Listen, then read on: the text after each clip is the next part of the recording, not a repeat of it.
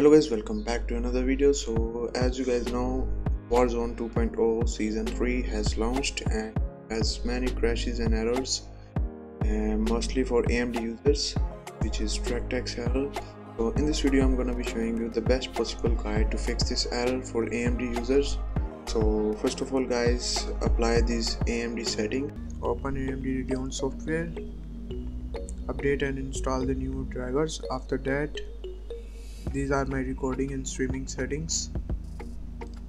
These are my graphic settings. Just turn all of them off. After that you have to close your launcher. If it is uh, or it is steam just exit them. After closing them go to search bar and type run or you can press windows plus r button together from your keyboard to open the command and type temp it's okay. We're gonna delete the cache memory from our computer system. Press delete. Yes yes.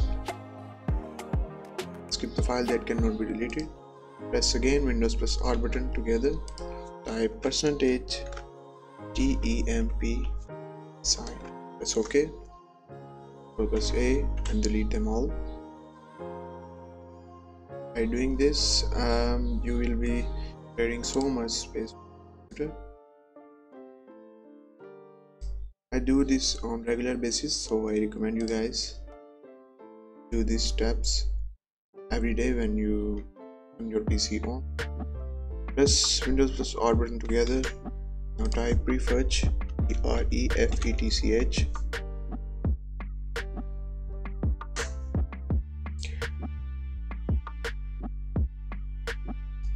empty your recycle bin.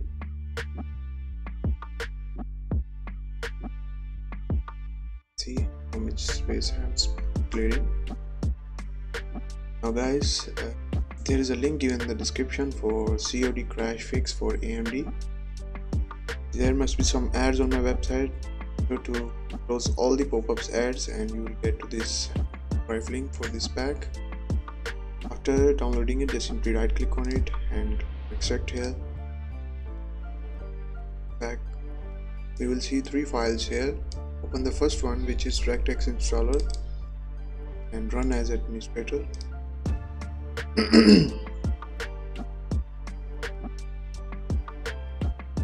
This will update your DirectX version to the latest version. It's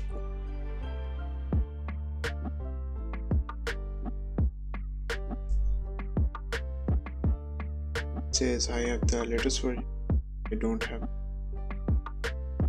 Necessary things. Finish. Back uh, and open DirectX properties also from Microsoft and as administrator. After opening it you can see this button edit list option here. Click on it. All the list and click on three dots here. You have to select your launcher. Like I'm using battle.net if you are using steam you have to go to this and stream uh, steam local uh, install location and select the stream